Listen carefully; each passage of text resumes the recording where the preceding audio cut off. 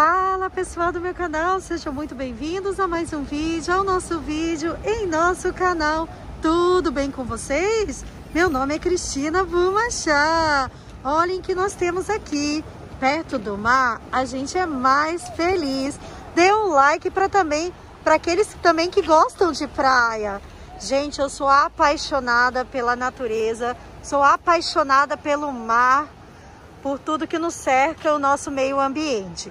Hoje quero dizer para vocês uma grande novidade, uma grande notícia que eu tenho certeza que todos irão ficar muito felizes com essa notícia. Ontem o governador de São Paulo, João Dória, disse que ele conseguiu entrar em contato com o presidente da China para que a China enviasse 5.400 litros de insumos para a fabricação da nossa vacina Coronavac do Instituto Butantan.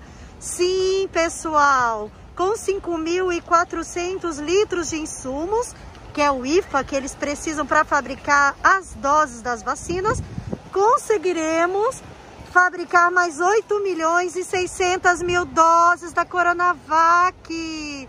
Isso está previsto a chegada dos insumos para o dia 3 de fevereiro, e ele acredita que em 20 dias o Instituto Butantan seja capaz de produzir as 8 milhões e 600 mil doses da vacina Coronavac. Vamos juntos todos vacinarmos. Vacina, hashtag vacine já. Meu nome é Cristina Bumachá. Não deixe de ativar o sino das notificações. Se inscrevam. Até o próximo vídeo em meu canal.